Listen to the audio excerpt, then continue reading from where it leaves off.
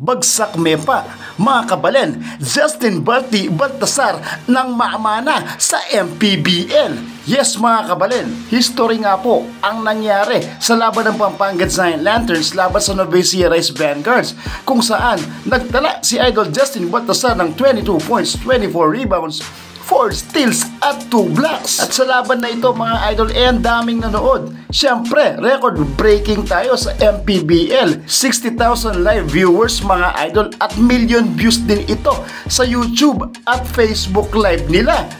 Grabe naman, mga kabalen. Congratulations na agad sa MPBL, ang pinakamalupit na liga ngayon. At siyempre, kay Senator Manny Pacman, Pacquiao, Bagsak Mepa, Idol Manny. Bagsak Mepa, kabalen. Big sak po, mga kabalen. Well, mga idol, congratulations sa buong Kapampangan at sa team ng Pampanga Lanterns, lalong-lalo na sa Beast Mode at Balti natin na si Idol Justin Balti Baltasar. Bagsak Mepa.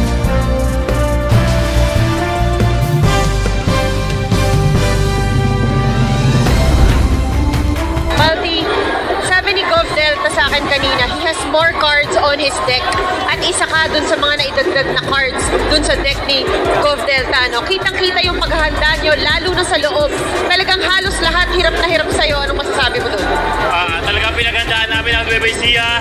Ah, sa practice pa lang, talagang pagod na pagod kami. Ginawa namin yung best namin sa practice.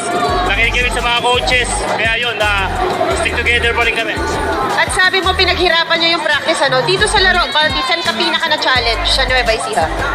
Ah, siguro ah, sa, sa mga big man, eh, siyempre defending champion tong team na to. So yun, ah, di, di, di ba rin kami ah, ah, na, na down kasi nung ano, ah, first first quarter, second second quarter, hindi na kami nakiscore. So yun, bumawi kami ng second half. Balti, kumusta yung tuhod mo? Nahulog ka kanina. Ah, yun. Ah, okay naman tatapos na, doon pa natamaan.